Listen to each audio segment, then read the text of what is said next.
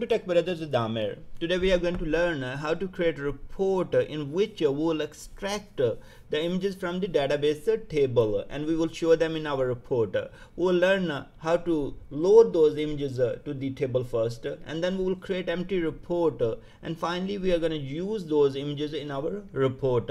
So let's go to SSMS and take a look on the script that we are going to use uh, to load the image. First of all, uh, we will be creating a table in which we need to save those images and other information. So I have this uh, table called create table debug test table and uh, it has salesperson first name last name. And last uh, we have salesperson image. And it is varbinary type. And it is max. So it can say pretty much uh, anything what you like such as pdf word document excel or image. Now next uh, is uh, we have insert statement. And we using an OPENROWSET. And we are doing a bulk insert for this image as a single blob. So this will insert our image into the table now I have uh, one record for Amir and the other record for Raza. So I have two pictures sitting in these uh, location uh, and we are gonna load them into the table. Now let's go ahead and run the entire script. It will create the table and load those two files. Now select the query and you see the salesperson images are loaded and this is how they will look in SSMS now we are going to go ahead and create our report. So let me take this select query. Open your SSDT SQL Server data tools. And here I already have a SSRS project. Now under the share data sources I have sales.rds that's share data source and it is pointing to my SQL server.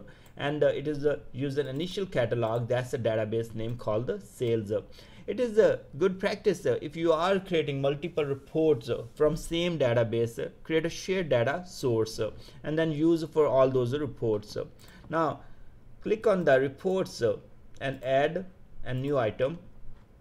Click on report and give name. So I'm gonna call this one a image from table. Add. It is going to create an empty report. Click on data sources add data source. Let's name this one. We call this one DS sales. Now use share data source as a reference. So we have already sales and we are going to use that one. So hit ok. Next data set add data set. Data set is a result set returned by your query. So we call this one dset uh, sales. It is going to be embedded in my report and we use uh, the data source ds sales here. That's our pointer to the shared data source. So uh, we have select asterisk everything from that table. But I recommend using the columns whatever is required or are required in your report. It okay? Now on the design surface right click and insert a table and select the fields you want to show for your report. So I'm gonna get the salesperson first name salesperson last name and then I'm gonna get the country and region. And last thing I would like to get a salesperson image. So we are all set. Let's bold them and uh, give some uh, background color for our header. And uh, let's expand a little bit. So we would have space and we can see the columns. You can rename these uh, columns or headers. You can call them first name or f name and here you can call them l name. And uh, let's put a report title. So put a call sale report.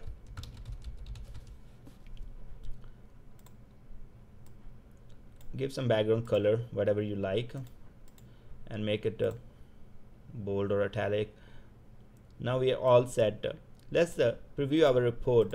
And as you can see that I have selected uh, the salesperson image field in the last column but it's given us error. So there are some things we need to do. If you have the column that uh, is containing uh, the images uh, and you uh, you select or place directly here in the table is going to give us error. Let's delete this one. And what we need to do we need to use the image item. Right click and insert and bring image. Once you bring the image it is going to ask you a few things. So it is asking uh, select the image source. In our case it's not embedded. Embedded mean if it is uh, loaded in the report. We haven't uh, loaded any image in the report.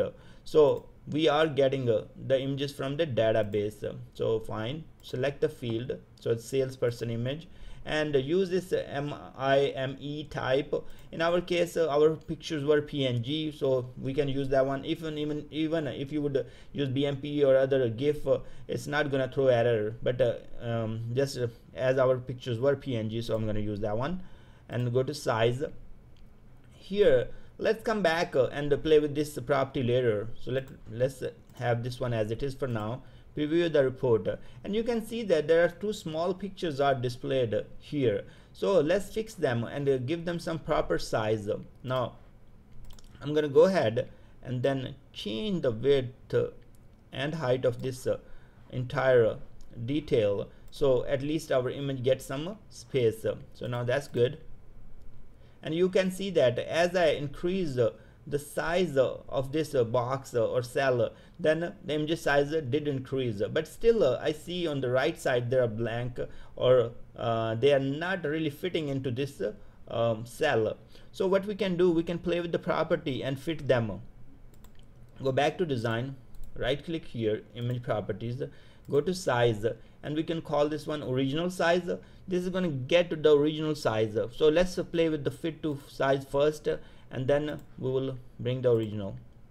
So now you can see that the size what we have defined it, the images did get fit in that size. I, I like that part because we can uh, fit by ourselves and even the images are small or big they will fit in that area. If we will go back to the image properties and say size and say original size maybe some pictures are small some are big. So in that case is uh, you see that uh, the uh, picture for Amir is kind of bigger than the picture for Raza so they are not aligned with each other. So for us uh, I feel like okay this works best fit to size. So you can play with this one fit proportional clip and all that and that whatever works best for you. And also I'm gonna go to border and I'm going to put the border around. So I use this outline all around and you can change the color you can change the width. Uh, there are other properties there is uh, visibility you can hide and write expression and all those kind of things. Uh, and there is action you want to click on the image and go to another report or bookmark or go to url you can do that. But in my case i'm going to keep this one as very simple. It okay?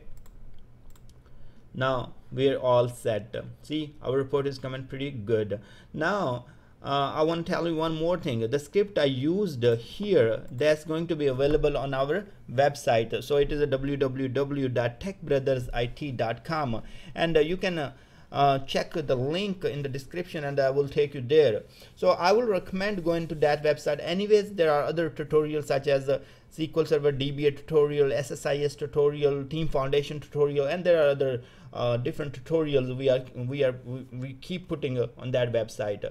So if you like, uh, go ahead and visit that, and it will bring you to YouTube. It has step by step tutorials, uh, and they are really helpful. And if you like the video, please go ahead and subscribe. And thanks very much for watching this video, and I will see you in next video.